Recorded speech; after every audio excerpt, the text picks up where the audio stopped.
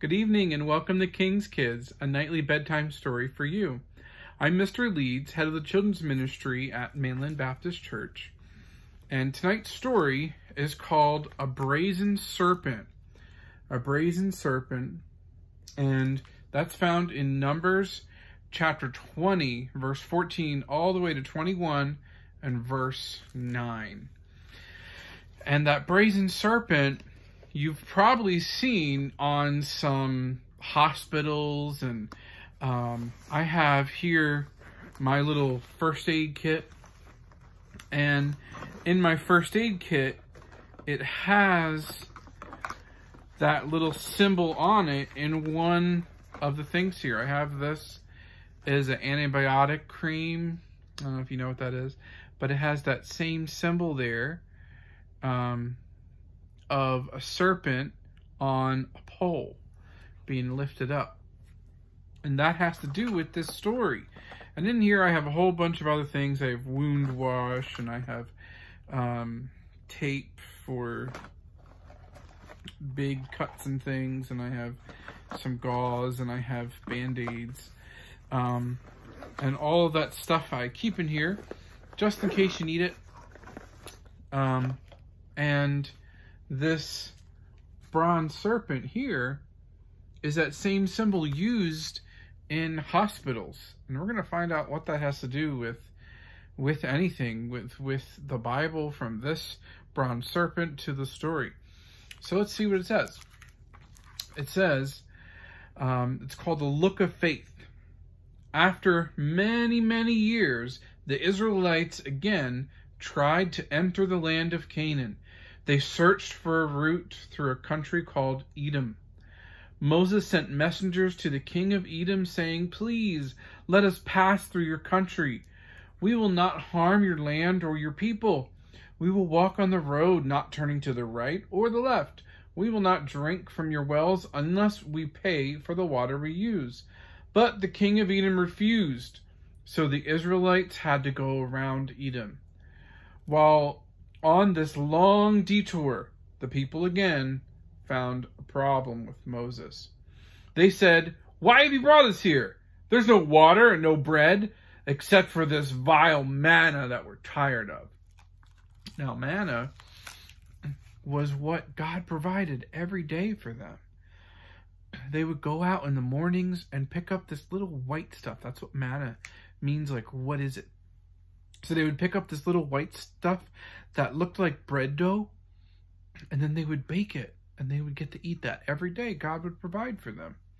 And I'm told that it has a taste of kind of like honey, like sweet honey. So anyway, they were kind of tired of this manna, right? And they said, we wish we were back in Egypt. Now, do you know what they were back in Egypt? They were slaves. They they're complaining about what God's been providing for them, and they're saying we want to go be slaves again.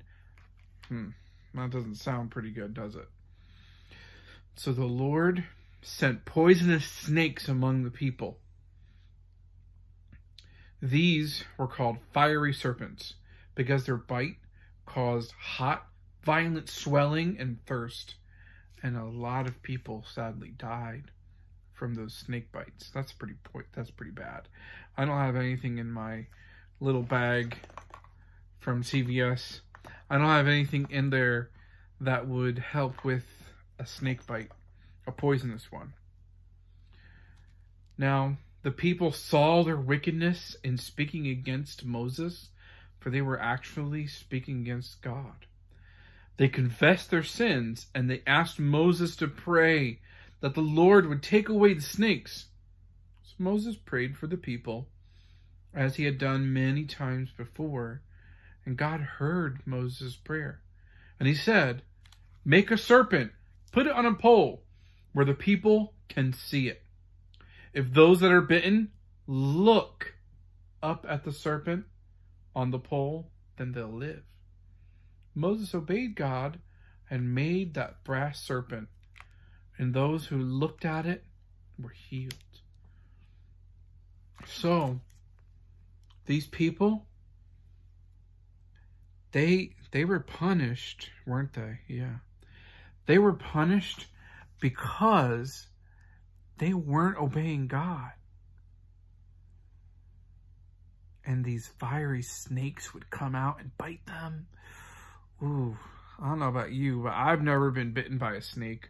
My sister had a pet snake growing up, but it was just one of those little garter ones that ate crickets and stuff. So it was really, really little, tiny head that it had. It was real small. Um, it was kind of long, about that long, but it wasn't anything to be very scared of, you know. Um, but these serpents, when they bit you, it felt like fire and it caused swelling and it was very, very dangerous and people died from it. But what did they have to do in order to live? Yeah, they just had to look at that serpent, that bronze serpent, and live. Now, if you see the shape of that pole, what does that look like to you?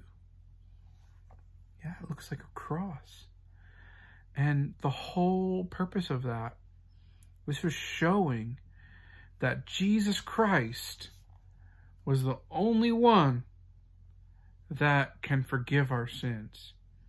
That Jesus Christ, if you look to Jesus for forgiveness of your sin, then you'll live forever in heaven.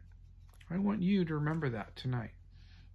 Remember that when we're troubled, we just need to look to Jesus. Let's pray. Dear Heavenly Father, thank you, God, for this great Bible story. Father, I pray that you just uh, be with each one of the kids. Help them, Lord, to look to you, Father, when uh, bad things happen. Lord, and I pray that you help us to trust in you and to look to you, Lord, and live. In Jesus' name, amen. All right, thank you for joining us tonight. Remember to come back next time at 8.05.